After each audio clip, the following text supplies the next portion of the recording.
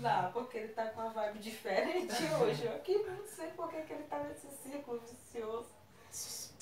E ele faz assim.